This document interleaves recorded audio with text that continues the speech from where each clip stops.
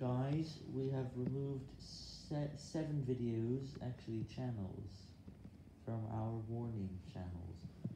This is because they were no longer on warning and recently made new videos. And here's another update for.